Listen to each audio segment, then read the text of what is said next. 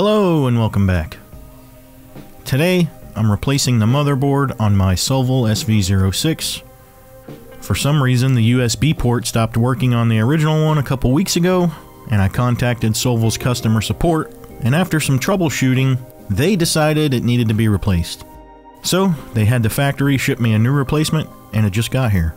But before I jump into swapping the motherboard out, I've been interested in trying out TH3D's unified firmware for the SV06. I've had their firmware and easy ABL sensor on my Ender 3 for a while now, and I really like it, so I thought I'd give it a try on the Sovol.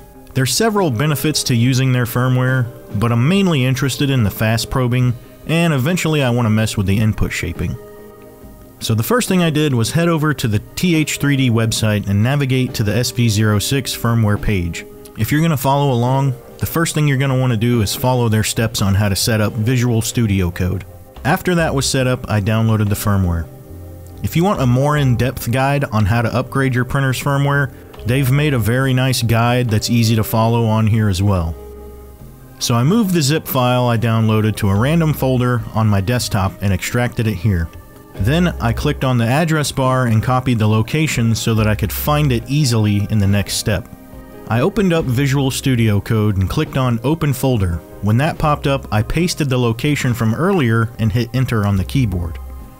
Then I clicked one time on the firmware folder and then clicked Select Folder at the bottom.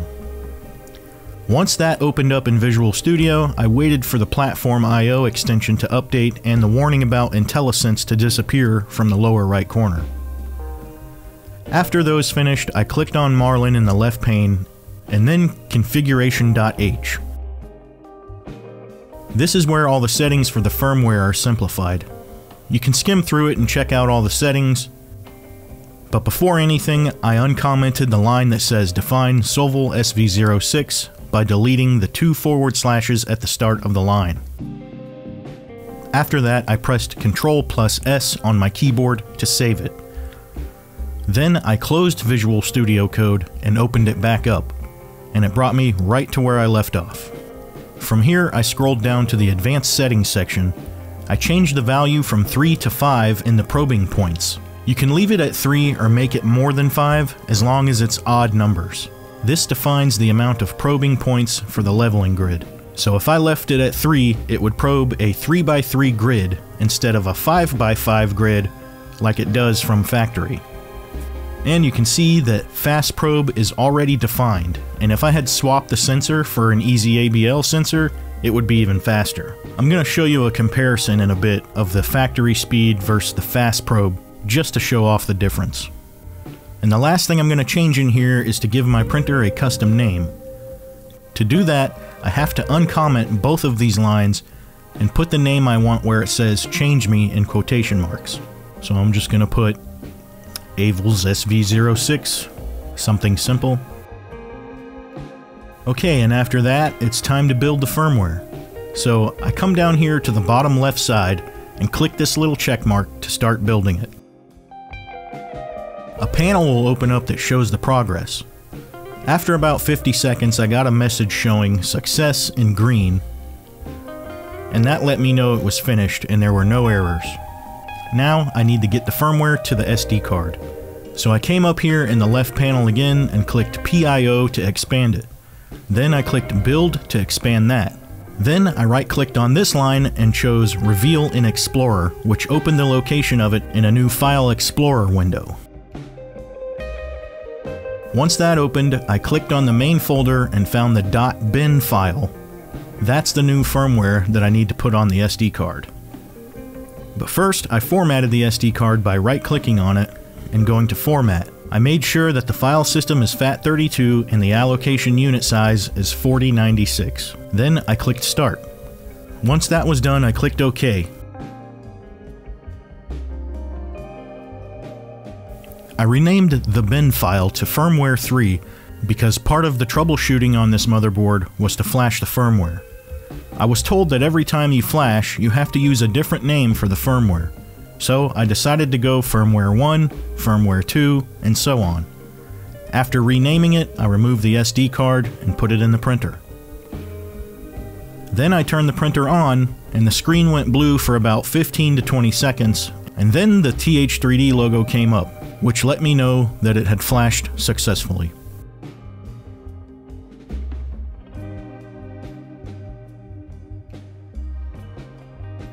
After that, I reset the EEPROM as the instructions stated to do. Then I formatted the SD card again. Once that was done, I ran a PID tune, then leveled the bed again and reset my Z offset. And I was good to go.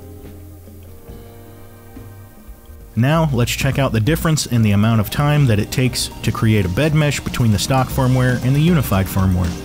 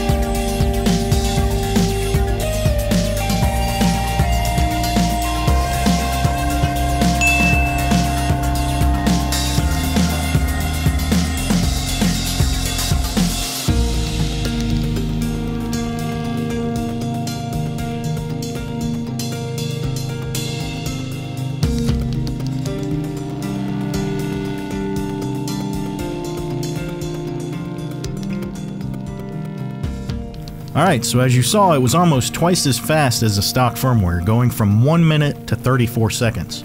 I'd say that's a pretty decent step up. Alright, and that concludes the firmware upgrade portion of this video. In the latter half, I'll be swapping out this motherboard and hopefully the USB will work on this one. Fingers crossed.